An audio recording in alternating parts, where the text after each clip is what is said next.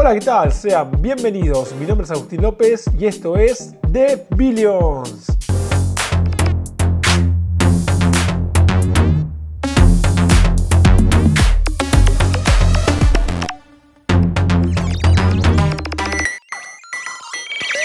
En el video de hoy vamos a estar haciendo una continuación de lo que son las Layer 2. En este canal estuvimos cubriendo bastante este tema, estuvimos haciendo directos, videos, en el grupo premium estuvimos hablando sobre esto y la realidad es que tenemos mucha información. Es por eso que decidimos hacer este video. Vamos a aprovechar la corrección actual del mercado para ver qué protocolos se mantuvieron mejor posicionados. Bueno, el 24 de marzo estuvimos haciendo este video que es por acá Básicamente estuvimos viendo un poco los parámetros, qué proyectos estaban con mejor valoración, cómo venía básicamente el mercado de Layer 2.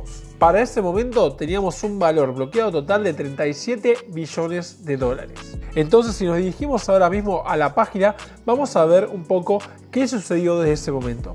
Podemos ver que tenemos un valor bloqueado de 38.68 billones. Se puede observar un poco acá cómo fue una tendencia alcista, ¿sí?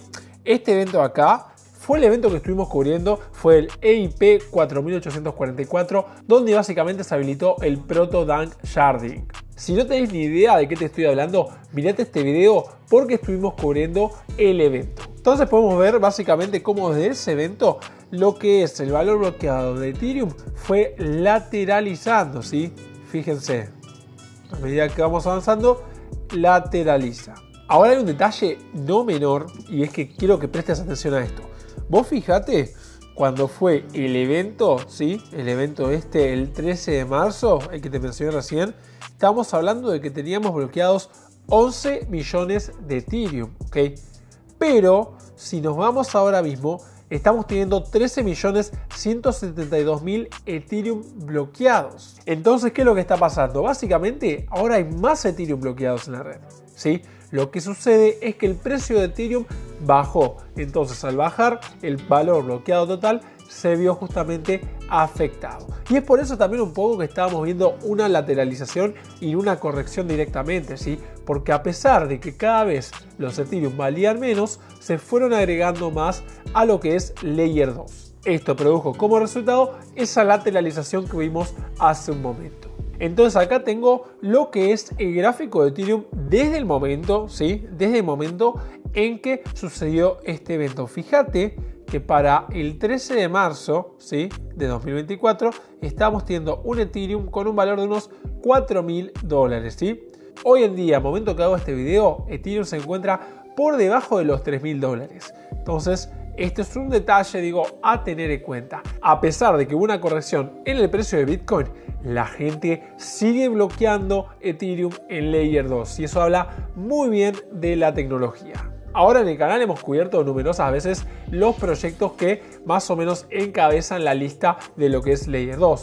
Es por eso que ahora vamos a estar viendo cuáles son para ver si tenemos alguno que se siga manteniendo bien posicionado. Vos cuando tenés un proyecto que a pesar de una corrección importante sigue manteniéndose en la posición, significa que es un proyecto más sólido. Mientras que aquellos proyectos que empiezan justamente a bajar de puesto, tener menos valor bloqueado, significa que son proyectos más débiles, ¿ok? Hay que tener más cuidado. Acá mismo encontré un directo que hicimos con Pablo el 9 de febrero de este año, 2024. Entonces lo vamos a usar como referencia para ver cómo fueron cambiando los puestos. Vemos primero que nada que Arbitrum está en el puesto número 1 con un market share de un 49.36%, seguido por Optimis con un market share de 25.56% y luego venía Manta Pacific con un market share de tan solo 6.03%. El resto del porcentaje se fue dividiendo en el resto de los proyectos activos. Para ese momento teníamos unos 39 proyectos activos. Bueno, y si nos vamos al día de hoy, básicamente estamos viendo algunos cambios. Arbitrum y Optimis siguen en el puesto 1 y 2 respectivamente. ¿ok? La diferencia es que ahora Arbitrum One tiene tan solo un 40% de market share. Optimis tiene un 17.87%, es decir, que pasó un 25, un 17. Y hay una explicación acá de por qué, y lo vamos a ver en el puesto número 3.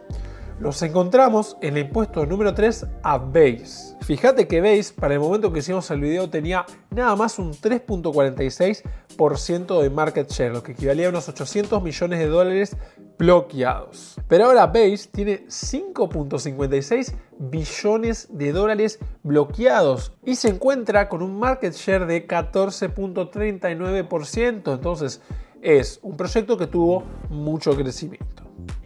¿Qué pasó con Manta? Se preguntarán. Bueno, Manta tenía bloqueados 1.6 billones de dólares, ¿sí? Actualmente nada más tiene 770 millones de dólares y apenas está rascando el 2% del market share. Entonces es un proyecto que tuvo una corrección en cuanto a su valor bloqueado. De hecho, si nos vamos a lo que es justamente la gráfica, podemos observar acá mismo en este gráfico de acá cómo llegó a tener un pico ¿sí? de 3.55 billones de dólares y actualmente tiene tan solo 770 millones de dólares. Un detalle que quiero remarcar, fíjate cómo pasamos de 39 proyectos activos a unos 52 proyectos activos. Ahora, puede ser que vos me preguntes, mira, ¿conviene invertir en alguno de estos proyectos? ¿Hay todavía tiempo a hacerlo? ¿Voy a llegar a tener algún tipo de ganancia? Si quieres saber todo esto, te invito a que te unes al grupo premium de The Billions. Ahí no solo vamos a estar analizando proyectos de diferentes categorías, sino que tenés análisis on-chain, lectura del pool de liquidez, análisis técnico, noticias, información, una comunidad muy interesante que básicamente te va a dar a vos una herramienta adicional para que puedas aprender a invertir mejor. Si todavía no te uniste, envíanos un mail a thebillonspremium.gmail.com No importa que te unas el día de hoy, ya que todo lo que hablamos en el grupo queda en el grupo, por lo cual aunque te unas hoy, vas a poder estar accediendo al contenido que enviamos desde el día 1. Así que no te pierdas esta oportunidad única. Todavía tenemos algunos cupos habilitados, así que si estás interesado, envía un mail a thebillonspremium.gmail.com Bueno, espero que te haya gustado el video. Si no estás suscrito, suscríbete, activa la campanita porque somos de hacer muchos directos con Pablo. Entonces, esta información que hoy en día te di de una manera más resumida, puede ser que en algún directo la estemos hablando con más profundidad y es completamente gratis. Así que suscríbete, activa la campanita y estate atento al contenido nuevo de The Videos. Eso ha sido todo por hoy. Mi nombre es Agustín y nos vemos en la próxima.